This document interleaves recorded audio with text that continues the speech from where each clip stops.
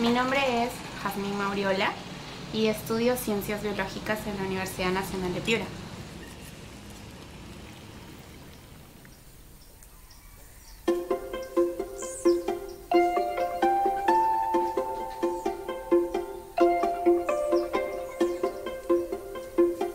Cuando ves algo como una orquídea quedas totalmente sorprendido.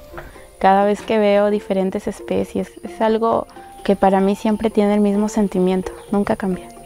Es una madresvalia, se caracteriza porque tiene puntos pilosos en todo y es para que cuando llegue el insecto la pueda polinizar y no se despegue hasta que la polinice. Cuando yo voy a crear la fórmula de un perfume, siempre me veo inspirada en recuerdos. A veces pienso en los días en los que yo pasaba con mi familia en una tarde de domingo, recordar todos esos aromas que sentía.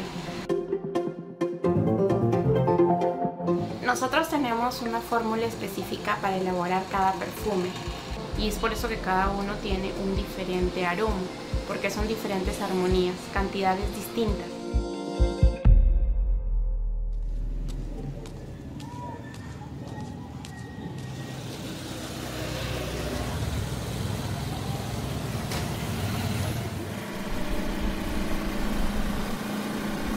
Bueno, hoy estamos en la provincia de San Martín, en lo que es Moyobamba, justo en la punta de Tahuixco, en el orquidiario de Agroriente. Estamos en un punto justo donde se encuentran en exhibición todas las flores que ellos cultivan y que también producen en in vitro.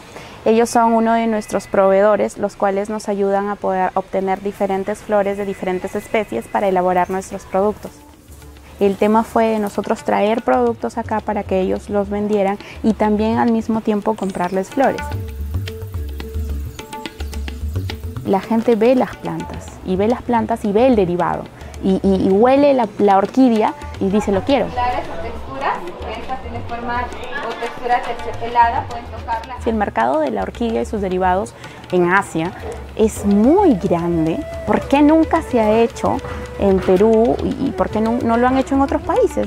Es ahí donde como nosotros ya teníamos el prototipo, la gente le gustaba lo que tenía, se vino la idea comercial y, y hagamos una empresa. Hasta ahora según el panorama nacional y latinoamericano, somos los primeros y los únicos que tienen esa innovación.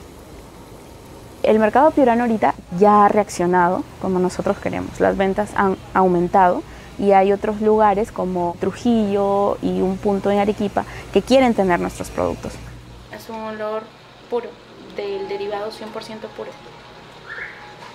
En realidad lo que quisiera elaborar sería algo parecido a una pócima le dicen, pero no, no es como se imaginan una pócima.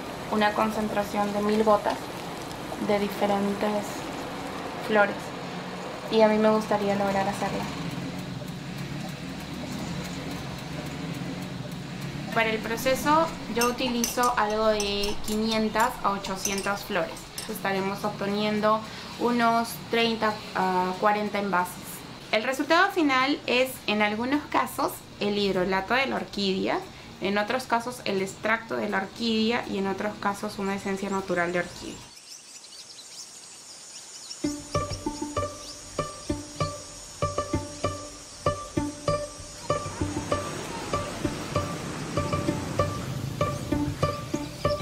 Nosotros cuando empezamos con la idea empezamos con nuestro dinero y, y bueno, solos, ¿no? Pero luego llega esta oportunidad de Innovate con el startup y entonces nosotros como que con miedo, ¿no? Hay, que ver qué tal nos va, hay, hay, que ver si es que nuestra idea en realidad tiene futuro. Y bueno, gracias a Dios obtuvimos esos financiamientos y nos ayudó mucho. Pudimos comprar diferentes equipos de laboratorio, pudimos implementar este, diferentes técnicas de extracción y pudimos mejorar el producto.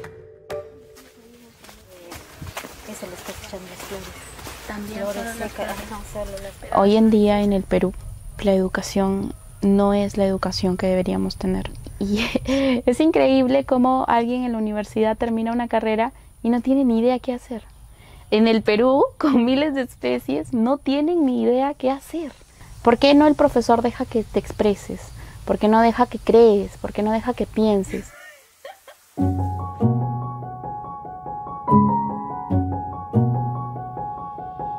Estamos hoy en el colegio de Nuevo Horizonte. Aquí todos los docentes y los niños han participado para lo que es la elaboración de este orquidiario y han podido colectar muchas orquídeas, plantas madre, para continuar con su reproducción, propagación y cuidado en este centro educativo. Ustedes saben que la planta madre nos va a dar más orquídeas pequeñas que vamos a poder seguir colocando. Esta iniciativa, que si bien es cierto es dada por la institución educativa y por sus autoridades, nosotros tratamos de respaldarlo con lo que es conocimiento ambiental y al mismo tiempo con lo que es aprovechamiento. De esa manera ellos tienen un comprador para sus flores y nosotros podemos darles a ellos más mecanismos para que puedan seguir mejorando no solo el orquidiario, sino también lo que son partes de su institución educativa o alguna otra necesidad que nosotros podamos cubrir con ese monto de flores que ellos nos dan.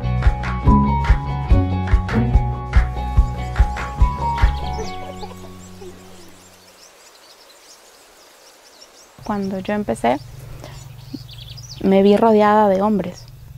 Durante todo mi proceso de investigación no encontré ninguna sola mujer. Y era muy complicado porque había muchos hombres de esos que me decían, no, pero no se puede, no, pero hazlo después, pero ¿por qué lo vas a hacer ahorita? Mira, que no sé cuánto. Ah, pero si no tienes apoyo, mejor no lo hagas. Muy chocante ese ambiente. Querían ver a un hombre a cargo.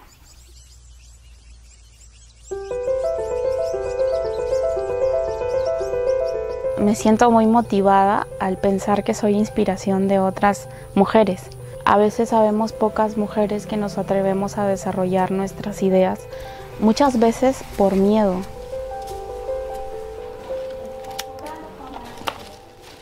Hoy en día lo que tratamos de hacer todas las mujeres emprendedoras o con un negocio es apoyarnos entre nosotras, que crean en sí mismas, que es lo primero que deben hacer, y luego que luchen por eso.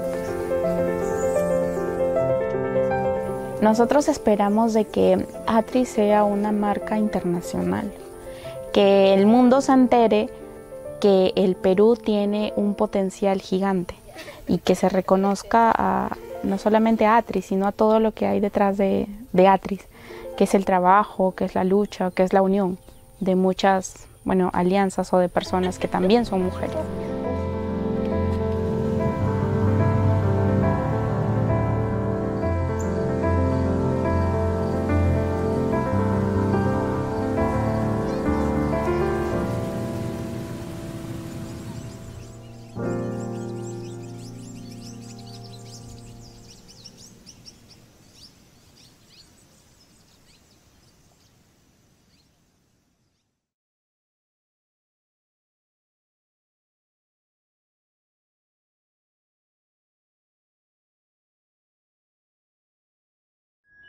Bicentenario del Perú 2024.